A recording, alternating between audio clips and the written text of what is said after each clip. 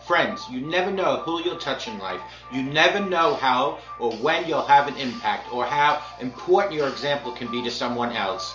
My faith helps me understand that circumstances don't dictate my happiness or my inner peace.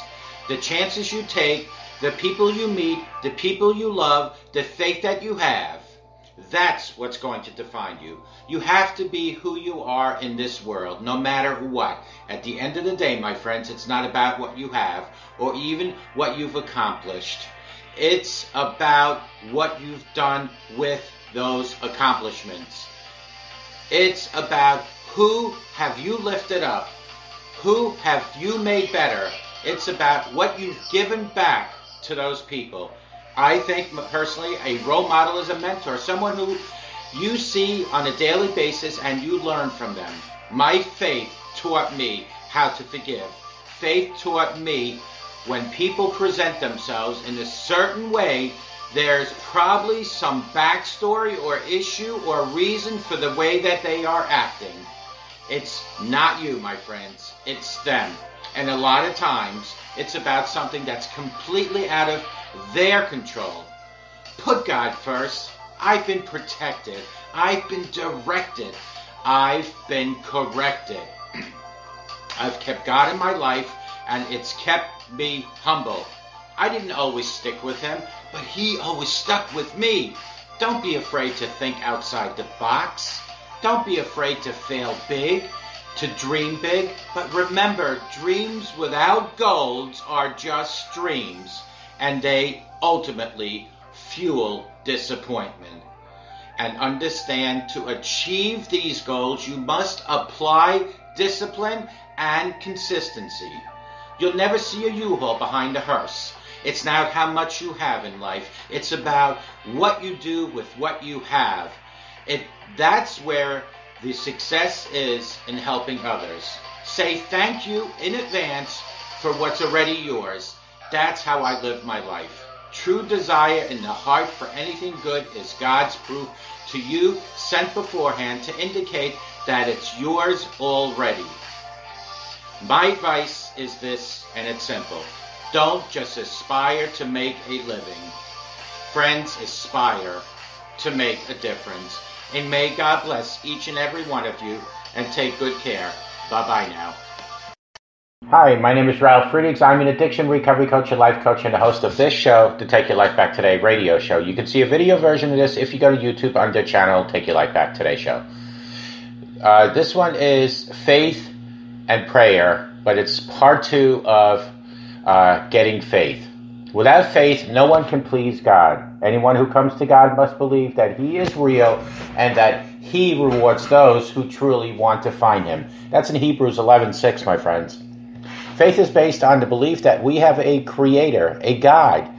We understand that our God is like a good parent who loves us unconditionally, who uh, and who wants to protect us, guide us, and help uh, his children. And like a good parent, he would never harm us and only want uh, what's best for us. When our faith is strong, we have absolute trust in God's love for us, 100%.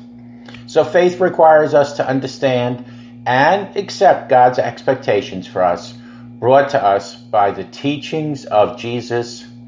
God wants us to love others through genuine and sincere kindness and compassion. This means that we will be humble, we will not be critical or judgmental of others. We will not be hurtful or take advantage of others.